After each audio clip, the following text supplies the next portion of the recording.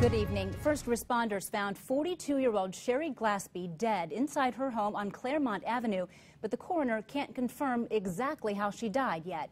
News Channel 15 Sara Wagner talked to neighbors this afternoon. She's here now with how they are handling this loss. Mm -hmm. Neighbors tell us they didn't know Sherry Glaspie very well, some just meeting her once before. But despite those limited interactions, her death still hits the community hard. The caution tape lining Sherry Glaspie's house may be keeping others away today.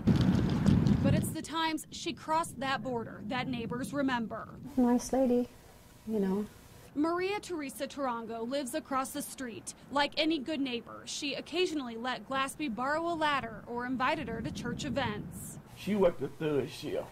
Next door neighbors Ernestine and Herbert Almo met Glaspie once when they moved in last July. Their grandchildren like to play in the yards together during the summer. With the houses sitting just feet apart from one another, the Almos could smell the smoke coming in their bedroom window last night. Ernestine thought it could be from her granddaughters in the kitchen. And I said, Y'all sure? Y'all ain't cooking nothing? They said no again. That's when the girls heard the fire trucks and rushed to the front door. She's called my name twice. I said, what you want, girl? Your neighbor house is on fire. I said, what? She said, your neighbor house is on fire. That's when I jumped up.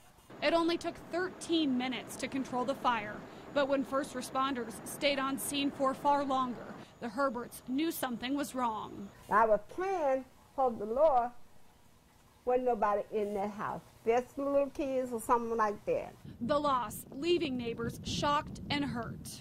It's just kind of unbelievable that that, that actually happened, you know.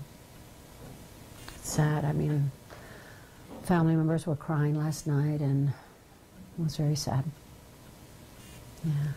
Glaspie's cause and manner of death are still pending. Both are under investigation, but the coroner's office says there's no evidence of foul play.